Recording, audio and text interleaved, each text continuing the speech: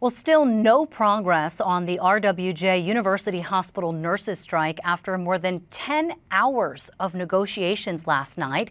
Union leaders for the 1,700 striking nurses say they were at the bargaining table until 2 a.m. with hospital officials and a federal mediator, marking day 80 since the workers walked off the job August 4th, demanding better pay and mandatory nurse to patient staffing ratios. Both management and the nurses union say they didn't think the work stoppage would get this contentious. The hospital has agreed to salary increases, but repeatedly insists it has some of the best staffing ratios statewide.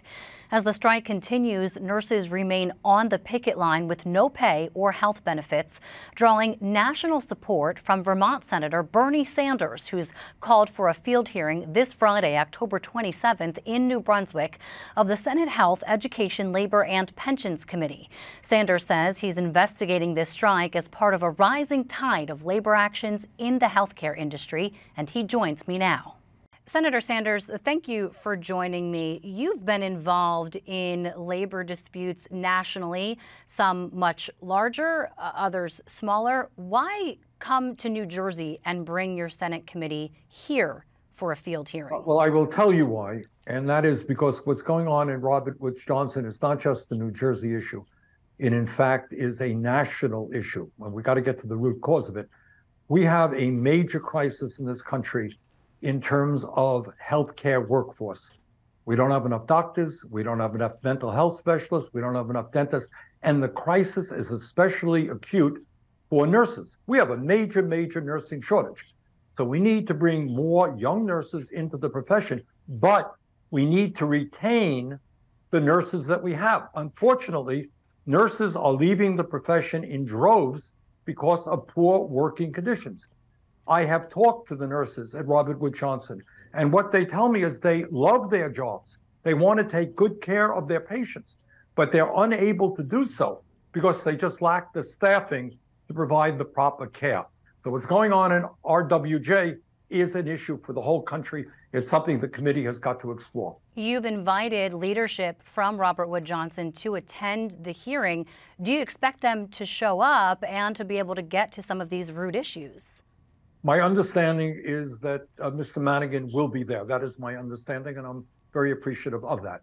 Uh, one of the issues, one of the questions that I will ask him is not just that a couple of years ago they could afford at Barnabas to provide a CEO with $17 million in salary, but they are now spending, as I understand it, $87 million in a few month period on traveling nurses. So they're bringing in nurses from all over at great expense, and yet they have not yet been able to reach an agreement with their local nurses uh, for decent nurse patient ratio. So that's an issue I think we want to explore.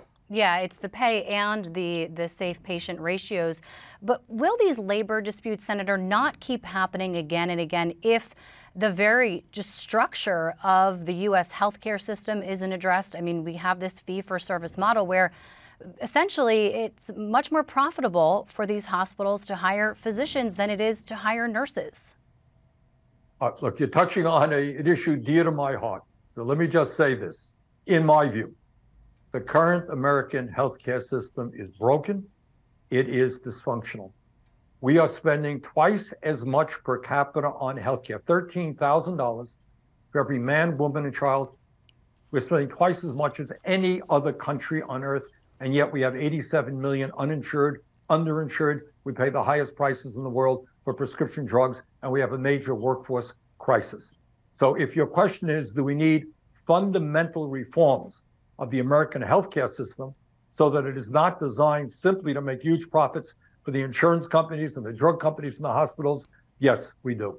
Should this be left, though, to federal mediators? There's been criticism, I don't have to tell you, from your own colleagues about perhaps uh, exerting your influence as chairman of this committee to get involved in what is essentially a private labor dispute. No, this is not a private labor dispute. This is a national issue. We have a nursing crisis all over America. We are losing nurses because these nurses are dedicated. They want to do their jobs. They want to take care of their patients. They're unable to do so. We've got to get a handle on it. And right now at RWJ, you have 1,700 nurses. Some of them have worked there for years. Tears in their eyes when they talk to me about wanting to do their job well, unable to do so. So this is a national issue, and I it's taking place right now uh, in New Brunswick, but it is an issue that we have got to deal with. That makes me think of what recently happened with uh, the Kaiser healthcare workers. That's we're talking, you know, thousands more, 85,000 workers. But do you draw those similarities? That was a three-day strike. These nurses are going on nearly three months now um, without health care as well. Um, as you say, which speaks to a much larger crisis in the country. Look, all over this country, uh, you have workers who are tired of corporate greed. They're tired of the people on top becoming much richer while they are falling further and further behind. What makes what's going on in New Brunswick right now particularly interesting is what the nurses are fighting for is the right to do their jobs well. It breaks their hearts. I'm, I mean, I've seen tears in their eyes when they talk about not being able to take care of their patients the way they were trained to do and the way they want to do. And I think it's really incredibly courageous for them to stand up, go out on strike, not something that's easy, in order to defend the rights of their patients to get quality health care.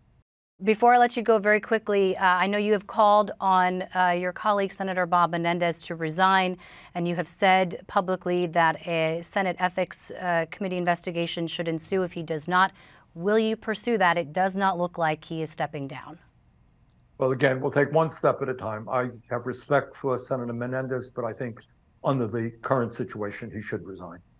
Senator Bernie Sanders, thank you so much for your time, sir. Thank you very much.